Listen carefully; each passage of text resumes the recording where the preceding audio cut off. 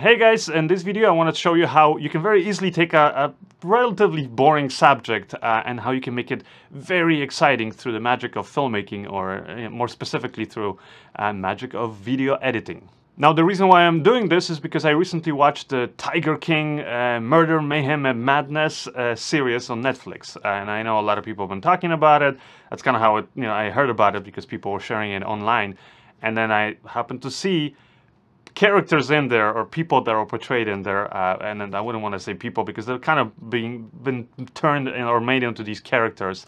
Uh, but I actually know them for real, and I know how they are in real life versus how they're actually being shown. So first thing uh, maybe I'll talk about is uh, obviously as a filmmaker, whatever subject you're going to be talking about in your documentary or whatever, whatever it is that you know, kind of a video uh, storytelling that you're going to be doing, whatever format you're working in. Uh, the the first, I would say, a good tip is to always start with getting as much footage as you can. And especially for a documentary, because the more footage you have and the more obviously different versions of it, then the more options you'll have in editing. If you have very limited footage, there's only so much you can do in editing. The most notorious cub breeder petting operation is Doc Antle. He's fearless.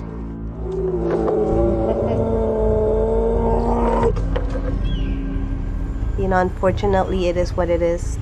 You know, animals are kept in cages. And I think, again, by keeping them locked up or keeping them in these places, you know, like the Myrtle Beach Safari, where um, it's sad.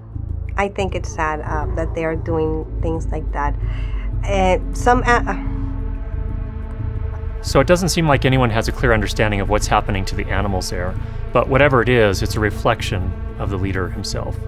Well, the main guy there is Doc Antle. He's the one that basically is the host. He's the main guy. If you want to judge him, judge him uh, uh, by how he treats the animals. Just doing it for the end, for the money. There's a war in America that's being fought for an enormous amount of money. The animal rights activists, they want the lion's share, and they don't want to share their lions. Some people have been accusing private zoos of animal abuse, including forcing the animals to do tricks just to keep the guests happy. I don't know if I want to talk about that, to be honest.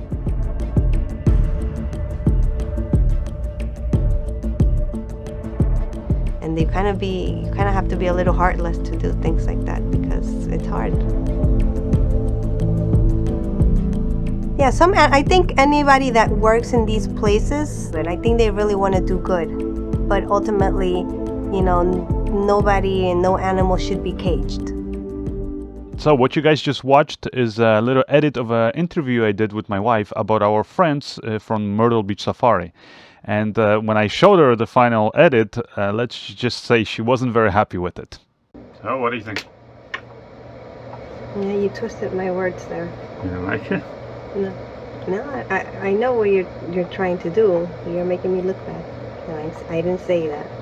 And the reason is because the actual interview with my wife was about 40 minutes long and it was loaded with a lot of uh, different questions uh, about even at different topics. But questions that I knew in editing would give me options to actually be able to edit her talking in such a way that it would look like she's actually saying bad things uh, about our friends in, in Myrtle Beach. So now let me actually show you the version of the edit that my wife did like.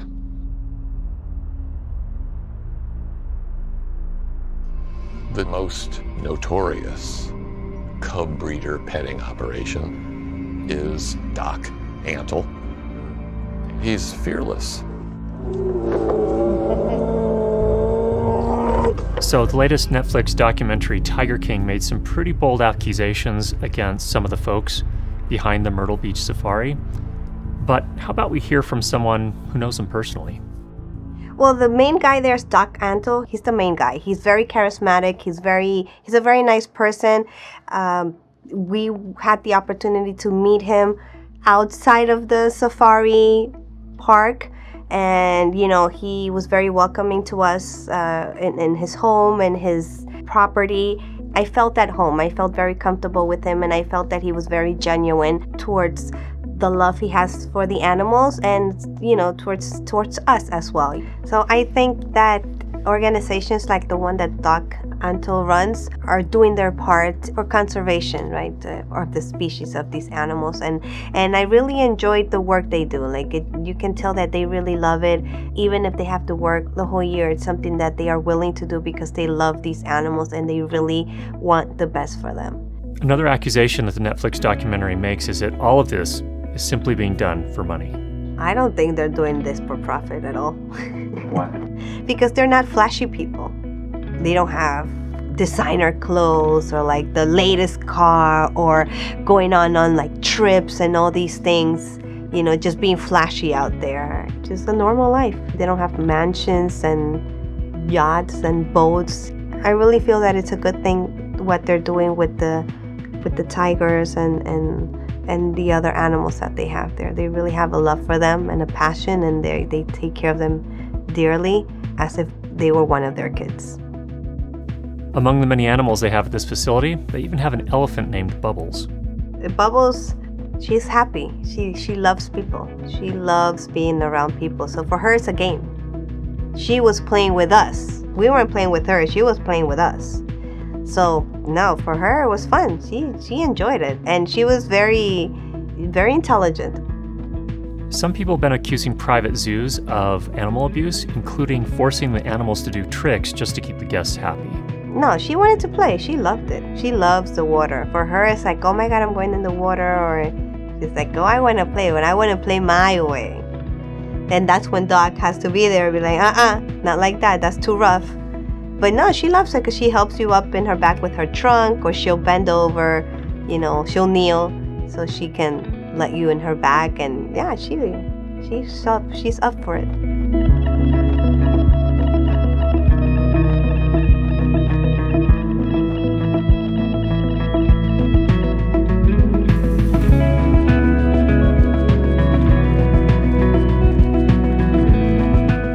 What I like about the safari is that they have more space to run and to to be themselves.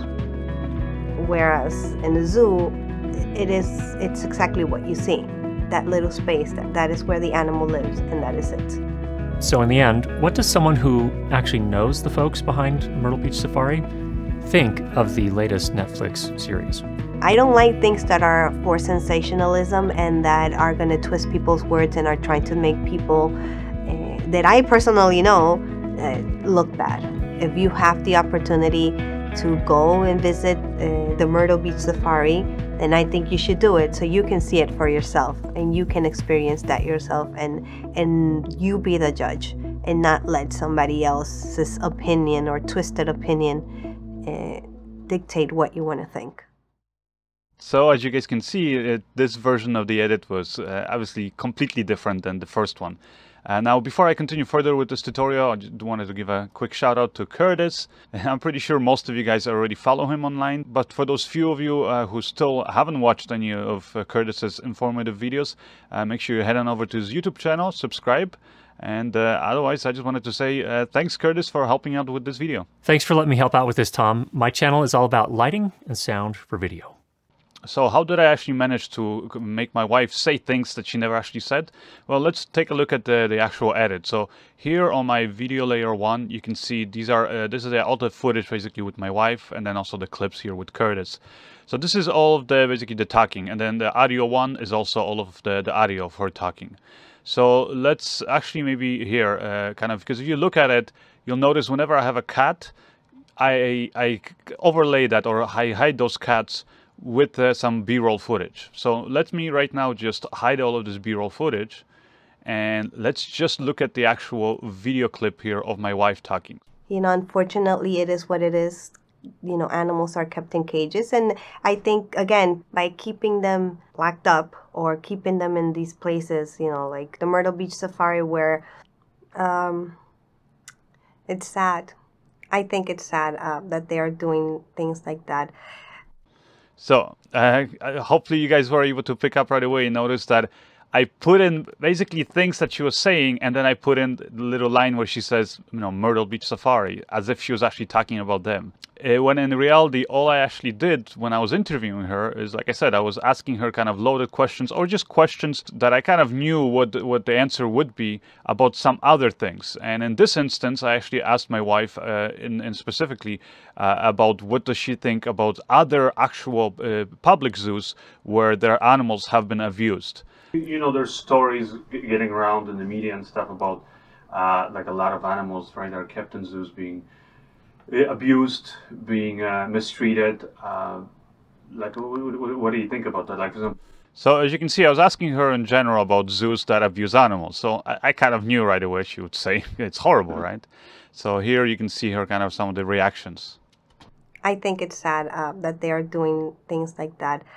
Uh, some, uh, I don't know.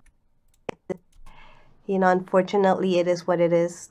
You know animals are kept in cages and i think so anyway so as you can see she was talking about zoos public zoos and and zoos that are you know have been supposedly abusing animals. So obviously she was going to say it's a horrible so now going back to our edit, you'll notice that this clip here is basically from another part of the interview where she just said Myrtle Beach Safari and I spliced it together to make it look like she's saying that they're doing all those horrible things. Tucked up or keeping them in these places, you know, like the Myrtle Beach Safari where... So very simple thing to do and then obviously once you overlay the b-roll footage, which in this case is uh, basically this clip here of, uh, of Doc playing with, uh, with one of the tigers, then this is how it looks. I think, again, by keeping them locked up or keeping them in these places, you know, like the Myrtle Beach Safari where... Um... So as you can see, very simple way to kind of twist her words. Uh, now let's take a look at another part here of the edit.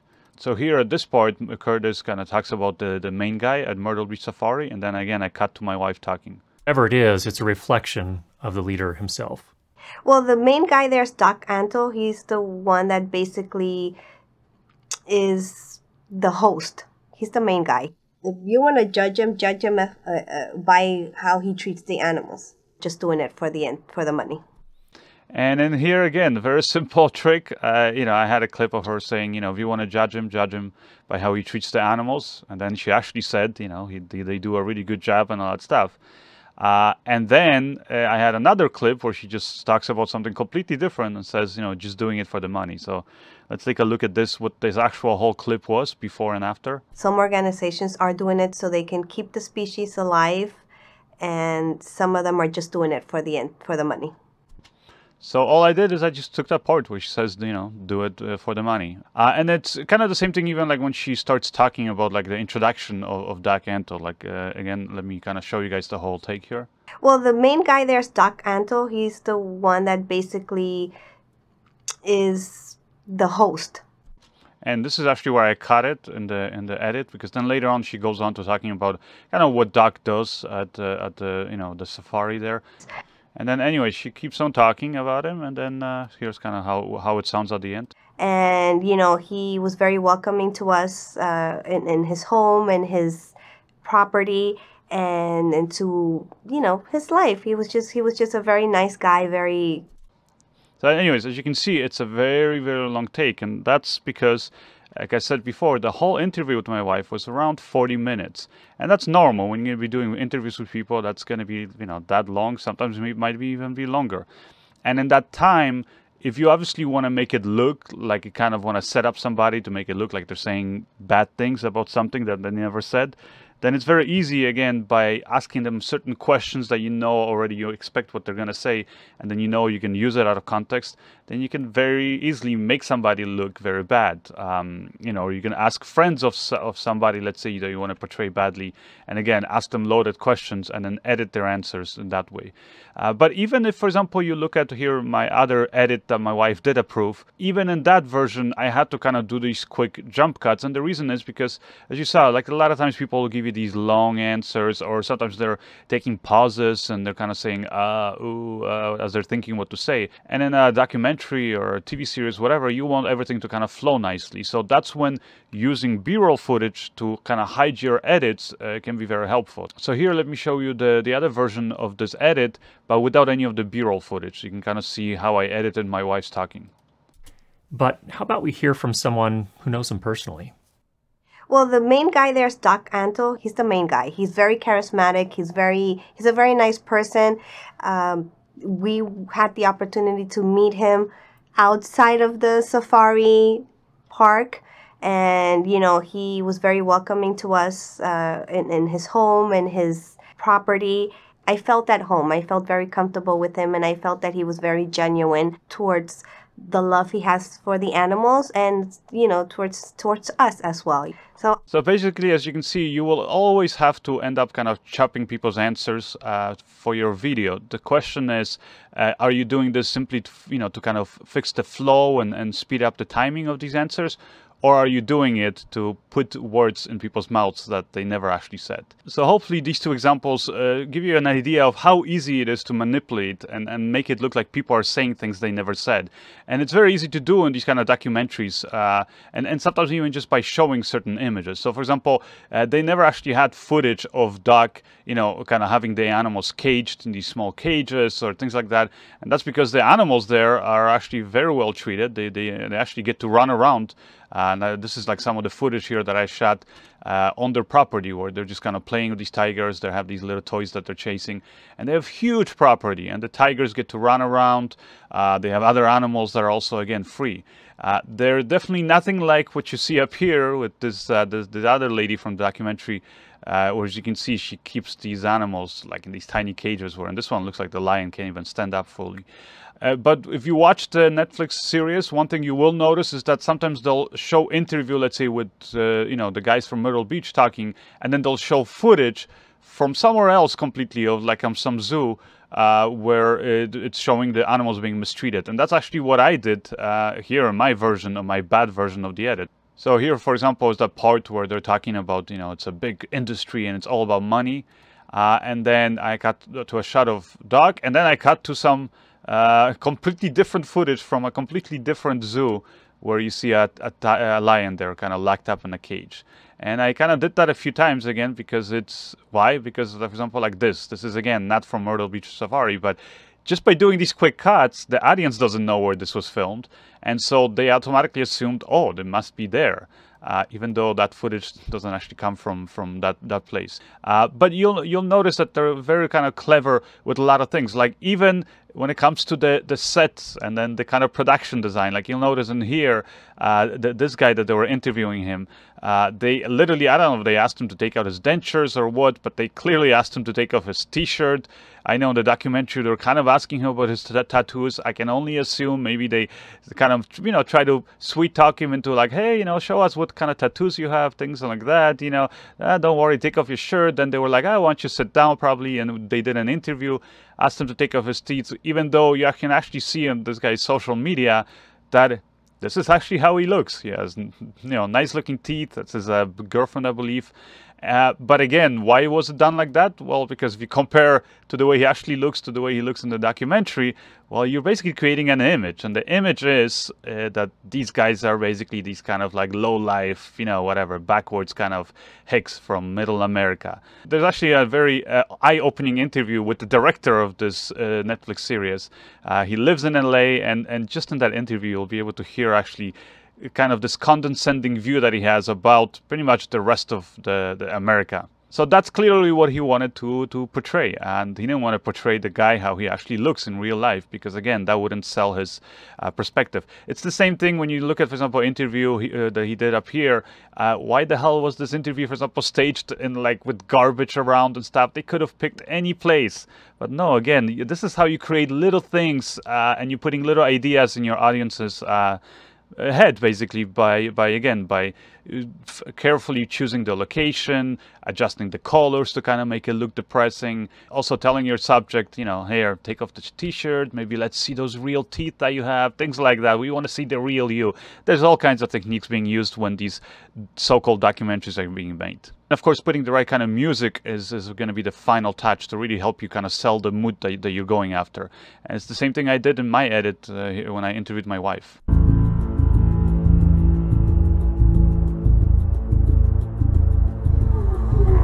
This is actually music that I got uh, from Epidemic Sound. And by the way, you guys can follow my link in the description if you guys want to get a big discount. you're trying to invoke a certain emotion in people. And I know that when it comes to video content, uh, the best way to do that is you let people's imagination kind of fill in the blanks. So a lot of times it's best to not say too much, just show a little clip, have somebody say something that's a little suggestive, maybe then show some kind of a clip that kind of further reinforces that idea. And then, you know, obviously through the magic of putting, uh, let's say, dramatic music. Um, like, let's say, for example, if, if I wanted to make this shot right now and me talking seem a lot more, I don't know, um, a lot more dramatic, let's say. So I would make the lighting a lot more dramatic. And then you add the music, right? And it makes it seem like a much serious subject matter. If I want to make it really serious, I don't know, maybe I can cut to a shot like this, really, really, really dark and dramatic and then at the same time you can make it you know very bright lighting and you can add kind of joyful music and all that stuff. And it can sound like we're talking about uh, i don't know flying you know purple pink elephants and uh, and something really really fun out there. So again just those little things that, you know I, will obviously make a difference. But again i know what you're thinking. You're thinking uh, tom i'm a filmmaker I, you know i'm an intelligent person. I can tell those things apart. And yeah those are like the very i would say crude and very, eh, eh, in a way, maybe overused techniques of kind of building an emotional response in an audience, right? Just the way even you, you color grade the footage and things like that. But there's also a lot of subtle things that are being done now that, again, maybe, and it's part of it, I think it happens is because, you know, over the years of people watching cinema, watching uh, reality TV and all this kind of sensationalism, uh, people, the audience has gotten smarter. So you, as a filmmaker, obviously have to get smarter because you you want to use all your tools at, at the disposal, whether it's the lighting, whether it's the color grading, the sound design, the music.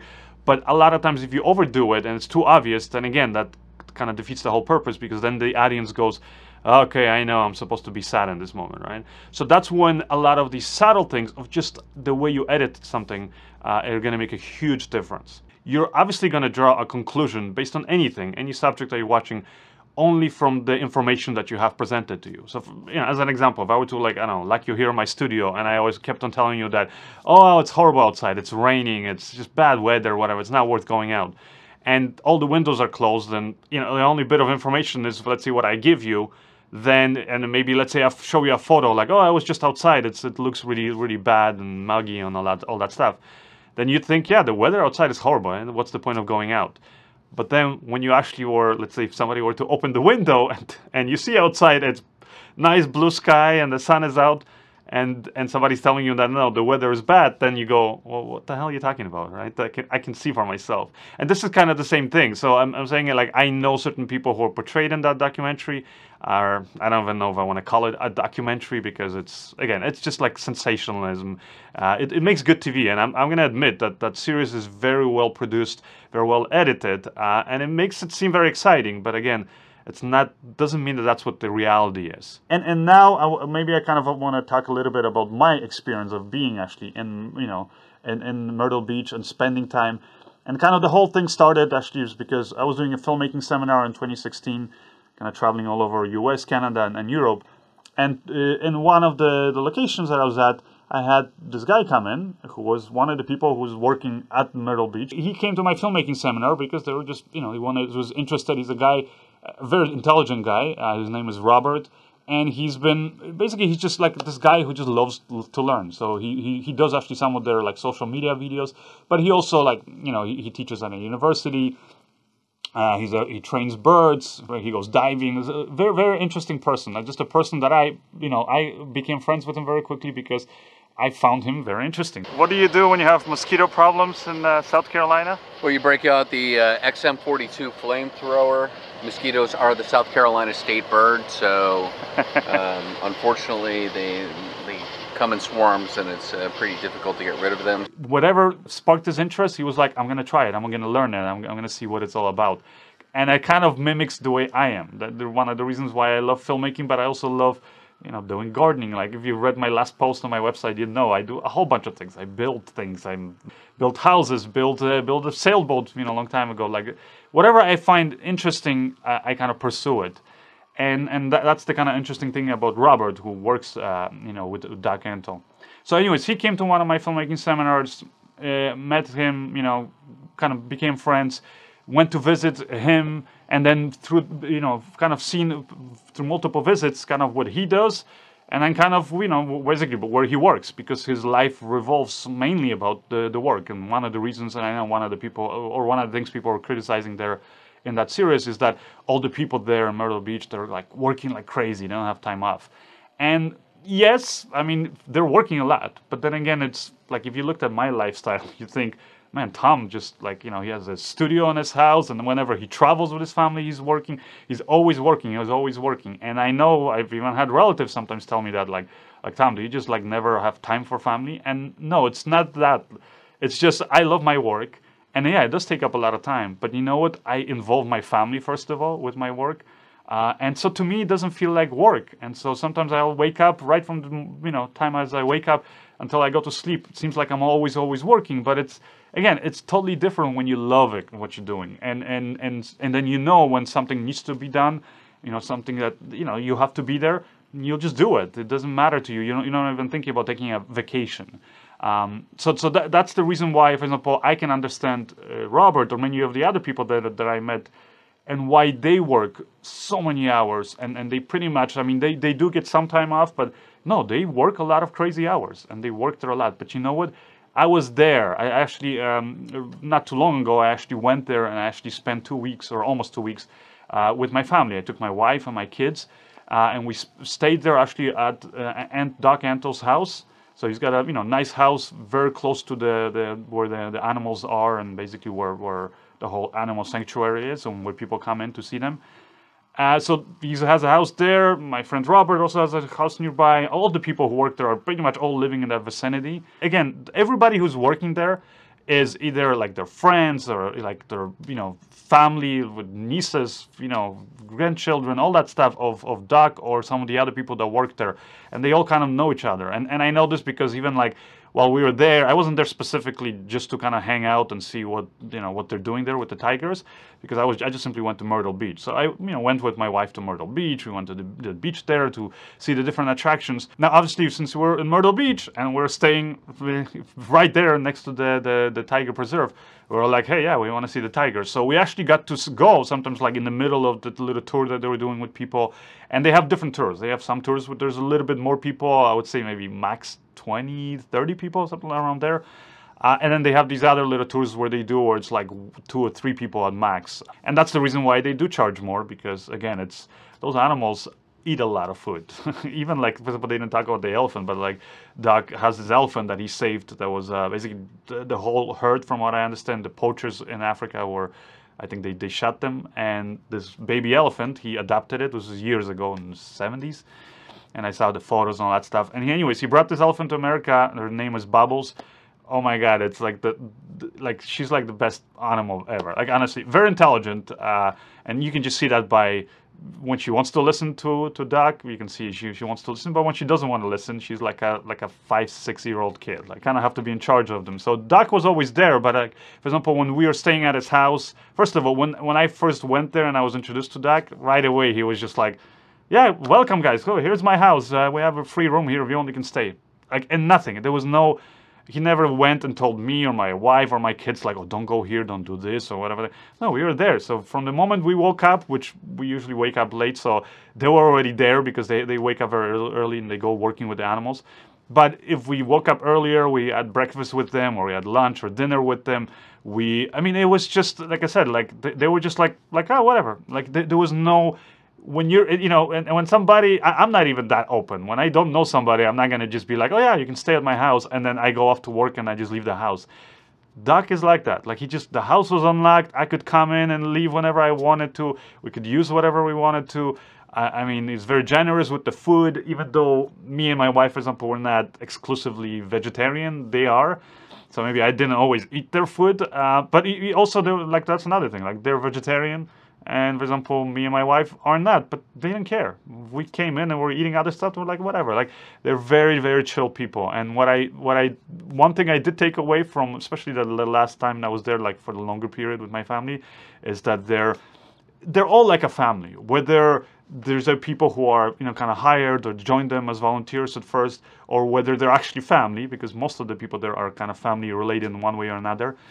Um, they're all like family and they treat other people because we weren't the only ones i saw afterwards and other people you know other other people also that stayed there and and I I see how they are. They're just very welcoming, very open. Didn't have any secrets. Again, like somebody I would think somebody who has things to hide or maybe doesn't want to show. They would not just be like, hey, yeah, stay at my house and that's it. They would be like, well, yeah, maybe you can stay here, but you know, don't go here, don't, don't no. And it was the same thing with the, even the reserve. Like there were obviously places where they're like, don't go there because that tiger will eat you, you know, because he doesn't know you, he's not accustomed to you.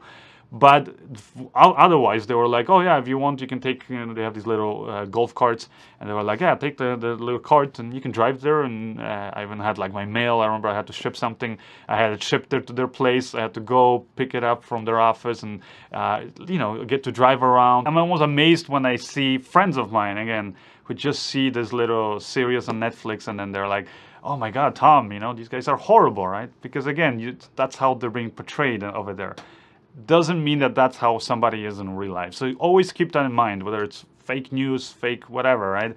Uh, at the end of the day, you know, and that's like I said, I'm saying fake news because a lot of the stuff applies, I think, also to politics, where you know, or to to anybody really that you're seeing in, in a public eye. Uh, unless you know somebody or that situation personally, just always assume that you don't know anything. Because whatever is being shown to you, most of the time, it's being hyped up. Why? Because, you know, whether it's news stations or in this case Netflix, they're trying to create something entertainment, something that, that will draw people in. I don't know about some of the other people, but I can tell you honestly, whether it's Doc Antle from Myrtle Beach or, or some of the other people there that work there that are, you know, friends of mine, I, I've seen nothing but good things. I've been there multiple times. Like I said, I've stayed there with my family. Uh, and I, I, can just tell you guys that it's not like what you see there in, in the documentary. They they really take care of the animals, but also they take care of each other, and, and they, they all live in a close vicinity. They, they all have homes. They all make you know they make money and all that stuff. It's, it's not none of this like this cult thing. I don't know. They're trying to suggest in there that it's like a cult or something that Doc has nothing like that it's just they're very cool people like we would all go like for example when when they did have on the days where they didn't do the tours with the guests then yeah they're busy obviously always certain amount of day with the animals but then they would come in and we would they would always like you know we would get everybody would order something we would all just share it uh, we would be hanging out in the backyard we'd go with you know the animals that could be there we would let them out in the water playing like it was just a cool experience like people were just it was fun. Like like I'm telling you, like a very big, extended, but kind of a fun family. P- people are very chill, very laid, laid back. Um, and they're doing, they're living a life, you know, kind of, I would say, with a meaning because they're following really what they want to do instead of what I think a lot of the times what happens to people is they kind of feel like, you know, I have to go to school, I have to do this, I have to get this respectable job, I have to buy this house, I have to, and then they get stuck in this kind of a nine to five working for these other companies and they're not happy themselves. Whereas, you know, and, and even though they might be working less hours than, let's say, guys, you know, at, there in Myrtle Beach, or even what I do with, with my own business, but you know what? I may I might be working more hours, but I'm more happier. I can see because first, of all, to me, a lot of times it doesn't seem like work. I'm just literally living, doing what I want to do, and I can see this exact same thing happening there uh, with with everybody working at uh, in, in Myrtle Beach. So yeah, so just keep that in mind, guys, that unless you've been somewhere personally or you've seen a situation, whenever you see it on TV, just accept that it's either a sensationalized version of it, make you know something that, that will be would sound more exciting, or a lot of times just people want to show you their opinion on, of a situation of a person, and so it's not reality. Uh, so just assume that that you don't know it it doesn't matter how intelligent you think you are because you can only draw your conclusions your opinions based on things that you see and again if the, all the windows are closed and i don't tell you what the weather is like outside you only make conclusions based on what i tell you or what you hear or things like that uh, so you have to open up all those windows look around you see different point of views and you'll see very quickly that the world out there is not black and white it's not like a person is bad or good everybody out there. I would say there's no bad or good people. It's just everybody kind of fluctuates constantly between the two. We all kind of, I think, want to pull more towards the good, but sometimes we end up kind of going in the bad. And it's just more a question of throughout your life, where did you spend, on which end of the spectrum, I would say, where, where you spend more of the time. Anyways, that's my opinion. Again, that's my point of view. Hopefully, you guys took something positive out of this. Uh, if you did, let me know in the comment section below. And uh, otherwise, I'll see you guys in the next video. Bye.